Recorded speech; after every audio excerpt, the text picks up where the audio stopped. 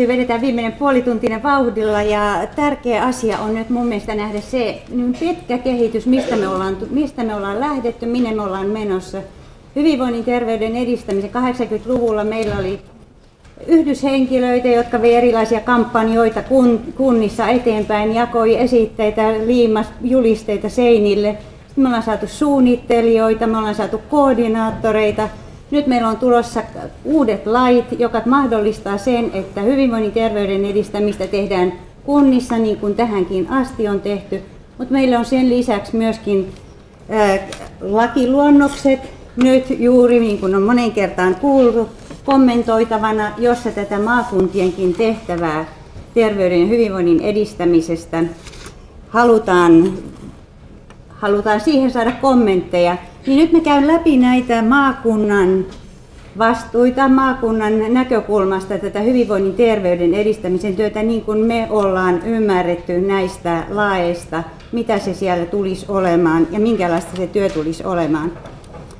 Ähm, ensinnäkin maakunnan tehtävän hyvin voimakkaasti tässä on strategia ja toimeenpano, eli erittäin suuressa määrin juuri sitä johtamistyötä hyvinvoinnin ja terveyden edistämisen alalla.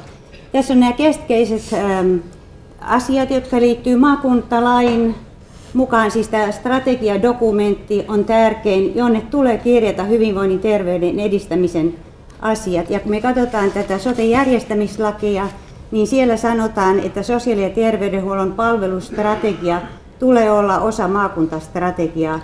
Ja nyt jos mietitään sitä, että mitä tällä sosiaali- ja terveydenhuollon palvelustrategialla siinä sotelaissa tarkoitetaan, niin sillä tarkoitetaan myöskin hyvinvoinnin ja terveyden edistämistä. Et se on tärkeää muistaa. Sitten jos on ihmisiä, jotka ei ole hyvinvoinnin ja terveyden edistämisen kentällä, ne lukee tätä äm, järjestämislakia, niin se ei välttämättä heti aukea. Aina kun puhutaan sosiaali- ja terveydenhuollon palveluista, niin aina tarkoitetaan myöskin sosiaali- ja terveydenhuollon, terveyden ja hyvinvoinnin edistämistä. Ja me kaikki tässä huoneessa ymmärretään se, että silloin me ei puhuta pelkästään palveluista, vaan me puhutaan myöskin kaikista niistä toimista, jota tehdään muissa organisaatioissa, muilla hallinnon aloilla. Ja nämä tulee kirjata sinne sosiaali- ja terveydenhuollon palvelustrategiaan. Tämä on se meidän ymmärrys tällä hetkellä tästä asiasta. Sitten Taru jo kertoi tästä palvelulupauksesta, miten sosiaali- ja terveydenhuollon palvelut järjestetään. Se on paikka, jossa pitää kertoa niistä palveluista, jota äm, ennaltaehkäisevistä palveluista, hyvinvointia ja terveyttä edistävistä palveluista, silloin kun puhutaan myöskin korjaavista toimenpiteistä, mit, miten, mitkä on ne asiat, jotka luvataan tässä palvelulupauksessa. Se on hyvä miettiä. Palvelun tuottajien kanssa tehtävä sopimus me kuultiin tässä edellisessä esimerkissä siitä, että nämä sopimusasiakirjat on äärettömän tärkeitä. Miten niihin sopimusasiakirjoihin saadaan, kun tehdään palvelutuottajien kanssa sopimuksia hyvinvoinnin terveyden edistämisen asiat sisälle. Vaikka tässä puhun paljon näistä strategioista, niin tämä laki, niin kuin nyt ää, lausuntokierroksella oleva laki, niin ää, vahvasti tuo esille myös tämän toimeenpanon ja sen toimenpideohjelman, että ei jäädä sille strategiatasolle, vaan lähdetään tekemään työtä yhdessä kuntien kanssa täällä maakunnan tasolla. Maakunnan tehtävät ja toimet, mä voin käydä aika nopeasti ne läpi, ne tuli tuossa Tarun, Tarun. Siellä on siis maakunnan, maakuntalaissa pykälä 6, joka kertoo näistä 25 tehtäväalueesta. Ja jos me katsotaan, minkälaisia sanoja siellä vilisee, edistäminen, alueellinen, järjestäminen, kehittäminen, valvonta, liikuntaneuvosto, hyvinvointi, vedet, kaikki tärkeitä terveyden hyvinvoinnin edistämisen asioita. Ähm, tässä on tämmöisiä kokonaisuuksia, jotka on niistä 25 tehtävästä koottu vähän isommiksi asioiksi. Hyvinvoinnin ja terveyden edistäminen on maakunnan tehtävänä, maaseudun maatalouden kehittäminen. Me kaikki tiedetään, miten läheisiä, yhteis- yhte- läheisiä sidoksia on esimerkiksi ähm, maataloudella, järvien puhtaudella, niin edellä tärkeitä asioita ihmisten arkielämään.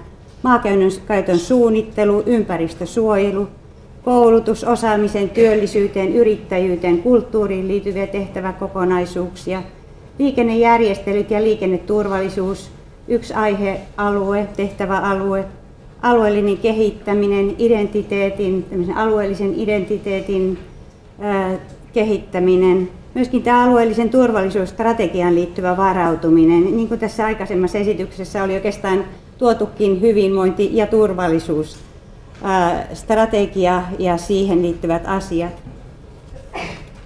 Mennään tarkemmin tuohon hyvinvoinnin ja terveyden edistämisen tehtäviin. Eli mm, siellä laissa on määri, tai lakiehdotuksessa on määritelty tar- tarkasti nämä tehtävät, jotka on nimenomaan sosiaali- ja terveydenhuollon ja terveyden edistämisen alueeseen liittyvät. Siihen liittyy kunnille annettava tuki päihdepalveluissa, hyvinvoinnin terveyden edistämisessä, alkoholihallintoa, pelastustoimia. Heillä on paljon yhteistyötä terveydenhuollon, sosiaalihuollon kanssa, terveydensuojelu, tupakkovalvonta, elintarvikevalvonta, ympäristöterveyteen liittyvät asiat sekä alueellisen liikuntaneuvoston asettaminen, liikunnan edistäminen maakunnassa, ulkoilureittitehtävät, kaikki tärkeitä asioita meille tässä salissa. Ää, nämä on niitä asioita, jotka on sekä kunnissa että maakunnissa tehtävänä. Tämä on, taas tulee täältä sote-järjestämislain kahdeksannesta pykälästä tehtäviä.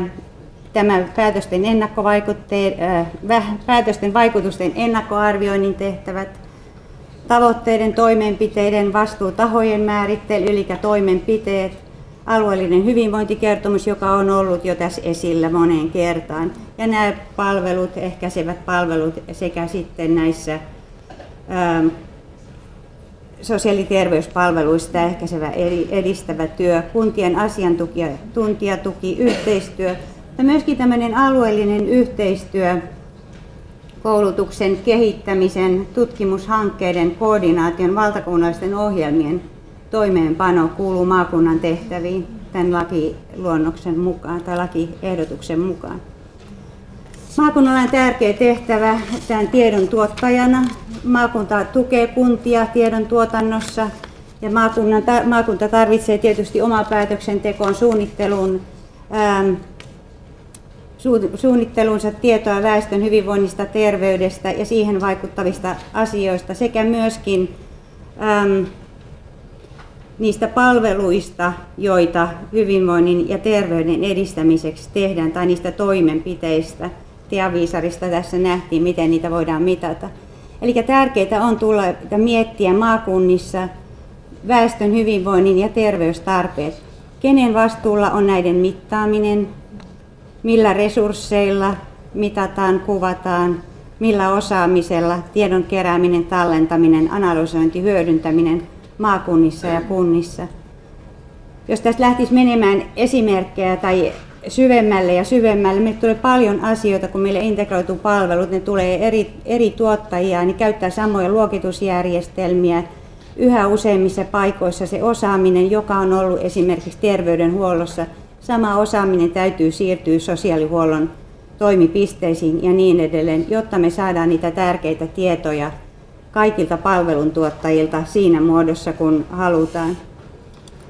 Ähm, näistä tietolähteistä, tietysti nämä sosiaali- ja terveydenhuollon omat tietojärjestelmät on, on hyvin tärkeä tietolähde. Jos me mietitään, ne tuottaa tietoa, sieltä, ne tuottaa tietoa sairauksista ja niin edelleen. Ne tuottaa myös tietoa toimenpiteistä liikkumisreseptiä tai muita, mitä kirjataan tietojärjestelmiin.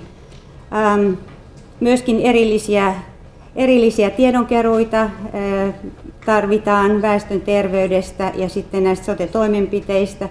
Mutta maakunta tarvitsee myös tietoa siitä, että miten kunnassa on toteutettu hyvinvoinnin terveyden edistämisen työtä. Ja se on myöskin tärkeä tieto maakunnan näkökulmasta.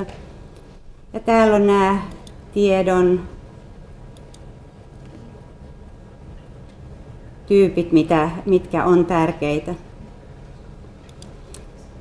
Tässä on esimerkkejä tietolähteistä. Meillä on esimerkiksi tulee sosiaali- ja terveydenhuollon palveluiden kautta, tulee näistä neuvoloiden kautta laajoista terveystarkastuksista tietoa. Kouluterveyskyselytyö tuottaa tietoa lapsista. Aikuisväestön hyvinvointi, terveys, palvelut, tutkimus, jossa vuosittain otantaa noin 10 000 ja joka neljäs vuosi 150 000 ja siihen, sen lisäksi siellä eri kunnat ja alueet on teettänyt omia, omia tutkimuksia aina näiden ää, eri ATH-tutkimusten osana, eri vuosina toteutettavien ATH-tutkimusten osana. Terveys tuottaa tietoa vanhemmista, jos täällä alhaalla kulkee nämä ikäryhmät, vanhemmista ikäryhmistä, viiden vuoden välein ja perusterveydenhuoltoon kerääntyy paljon tietoa alueiden, ää, alueen väestön hyvinvoinnista, terveydestä ja palveluista. Jos me lopuksi yritän vetää, tai tässä on kuva, joka on, kiitos Tapanin ja muiden, muiden alulle tuottama, vähän mikä tämä häkkyrä ja kokonaisuus on, mitä tämänkin aamun aikana on puhuttu.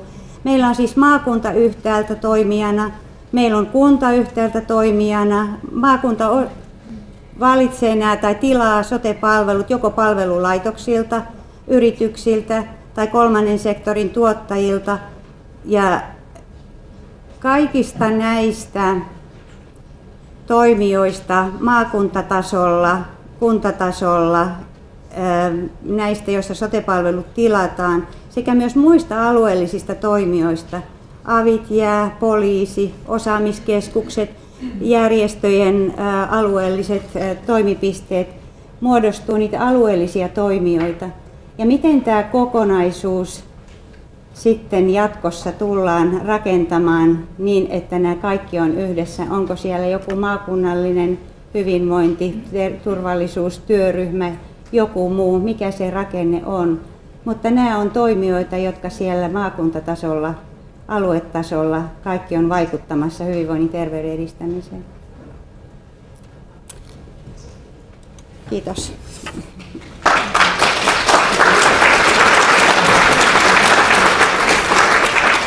Ja viime viikolla tuli kävelyreitillä tällaiset ukkelit vastaan. Kiitoksia.